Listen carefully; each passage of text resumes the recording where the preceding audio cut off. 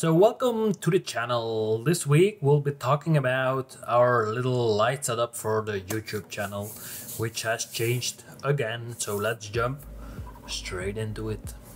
Yo YouTube, it's future me. Well, I was editing the footage and yeah, the audio is pretty bad. I didn't attach a mic to the camera, which means that, well, it's the internal mic and there was nothing planned to actually record the the, the whole thing. But i was like yeah i want to show the people that are uh, subscribers to the channel or are new here that it doesn't always have to be cut cut cut. It can also be something spontaneous spontaneously. Uh, so you will see that the audio you will hear hear the lens going zzz, zzz, it's hunting me. It's focusing on me because i'm moving and stuff uh, so that's internal noise from the camera.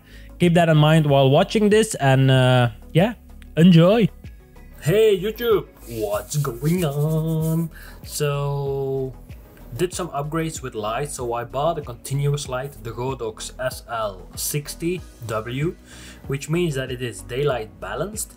It has no battery, so it plugs in with with a power cord, which is pretty long, and you can control the level of light coming out of the uh, continuous strobe, let's say.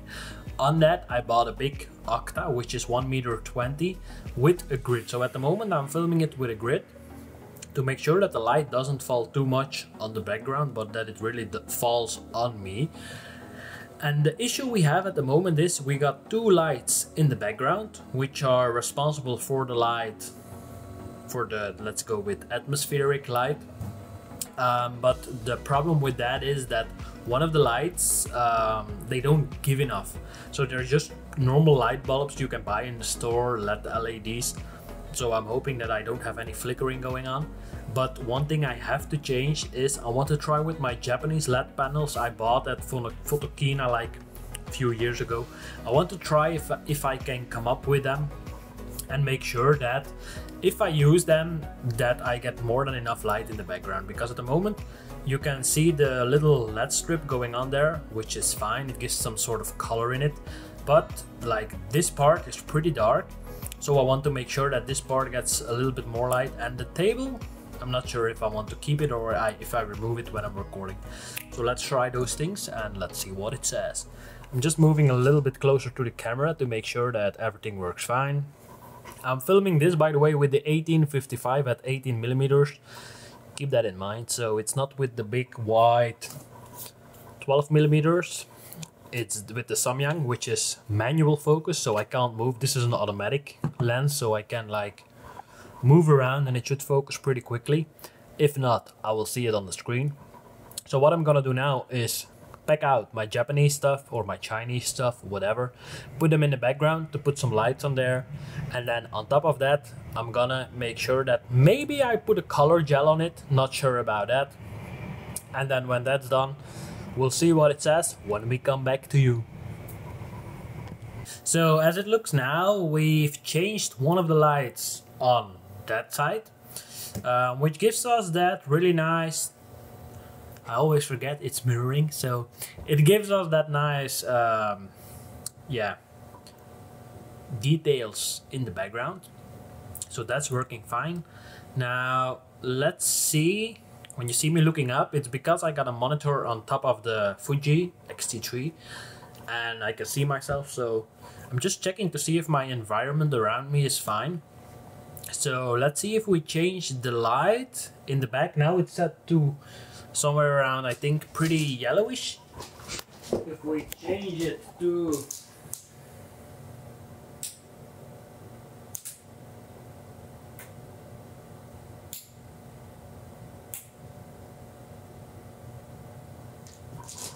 something like that looks pretty cool. So it's set to not really blue not really yellow so somewhere in between. Now i'm gonna attach a gel to it and see if that's any better or not. Always gaffer tape foil really important when doing these things. You cannot have enough of them. Is it better? Is it worse? I kind of like the vibe because it's bluish and not so grayish. what do you think? Do you like it? Do you hate it? Now the sun is coming in pretty hard, so I'm gonna shut down the curtains from the door because we don't want any sunlight coming in. We want to entirely create this artificial because we still live in Belgium, meaning we got clouds, sun, clouds, sun. So it keeps changing up. So we want to make sure that we control the environment ourselves so that we're not really dependent on the things from weather and stuff. So I want to control all lights you see now in this little segment and I want to make sure that I control them and not the environment controls them. So again to the blue I'm gonna look up. Kinda like the vibe of it. Not sure if I'm actually in focus or not. It seems to be that I'm in focus but I'm not sure left right left right. So you see me when I turn that way like when I move a little bit to the front. You can see this accent light changing up when I move to the back. I still have it but it's less. So that's one of the things. So now we're using Keylight the Godox SL60W then, then on that side we got just a normal light bulb bought in the action which is something like let's see if you can see it So I bought this one, which you can control by Wi-Fi and since I'm connected with Google, I can do it like switch it on, switch it off and it works fine. And then on that side, let's see if I can turn the camera a bit. So on that side, let's see. You can see this thingy, which is the Japanese panel. I will do some b-roll in it to make sure that we have all the things we need. So what I do notice is that I lose a lot of detail by just adding a gel in front of the continuous light, which is logical because gels have some sort of thickness and they reduce the amount of light getting out of it. So you lose some some some stops of light by attaching a gel to it. Now this is bluish cyan. Let's give it a go and let's try orange to keep things interesting. Orange looks totally weird. No, not my thing. I think it's because I don't think it, I know it for sure. We like the bluish more because it contrasts with our skin tones. If we put orange in the back, with orange in the front, it's like with skin tones, it's too much. It's just too much the same. So what I'm gonna do is replace this one again. And then on that side, I'm gonna try to switch over to another light the way we had on that side and I'm gonna put some magenta gel in it. Not sure if it will be cool but if we don't try we will never know. So that's something to keep in mind. Just try some things out and see what you can come up with. It might be yeah a task that is not really interesting but I like it if you just try some things out create some new things try some different angles and yeah just see what you can come up with. So now it's up to changing another light so I'm gonna reattach the blue one put another one next to it which is pinkish and then we're gonna see what we have. So back with duct tape and a pinkish gel so let's see what we can come up with. It doesn't do a lot. It gives us a little bit more toning in that side but it doesn't do a lot so what I'm gonna do is switch off the that one and let's see what we can change. So this is also not my thing. I like it when it's just one even color apparently. Because now we got the bluish and the pinkish but when I move aside we don't have a lot of uh, yeah colors going on because it's gray and I think the purplish is a bit too dense so it doesn't get fully transferred onto the wall. So let's try another color. So now we got some more colors going on which is yeah I'm still not sure so do we keep it do we lose it? Let me know below in the comments because for me I think I personally liked it better when there was some sort of um, yeah just one unique color instead of the mixture of both. And everything went dark again, probably because I changed some things around. So that's something I will have a look at now, because what has changed? So this is blue, blue, blue to the max. So is it dark? Is it bright? I don't know. On my little screen, it looks nice, pretty contrasty, pretty cool. So that's something. The shoulders, we have to keep an eye out on the shoulders because otherwise I look like a potato bag. So when we look at the screen like this, I don't want too much detail in there. I still want some detail in there. Oh, and we forgot the coffee table. So that's something I'm gonna move now. Is this or is this not better? I think so. We don't have too much distractions going on. So at the moment we've got a lot of lights.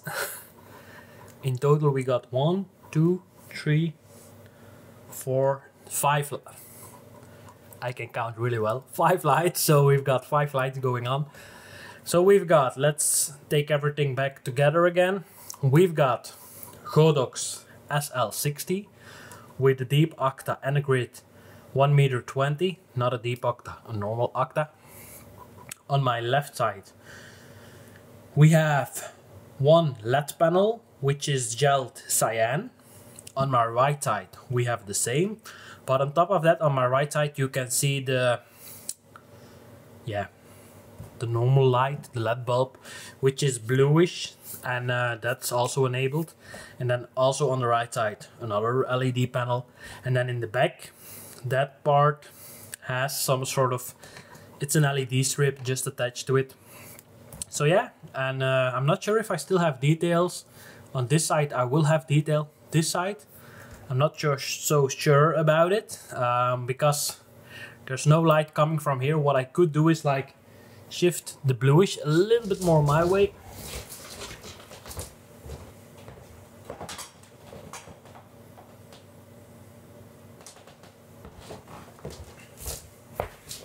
So if I shift the bluish, you can tell like this thingy is coming from the bluish LED now. But I got some more detail on that side I think so which is not so bad so just testing some light setups for the YouTube for the for the YouTube. We call it the YouTube. Um, so yeah so we got one two three four five lights going on. The more you angle the lights the the lights the lights the lights which are aimed towards the background um, if you turn them more my way, it's logical that I will get an accent light on my face. Now, because I don't have any hair on top of my face, we don't need any accent light on top because yeah, it would just like be like a bowling ball, just shine, shine, shine. We don't want that. Um, and I'm also not gonna wear a cap just to hide or just to use an accent light. So for me, this setup is perfect.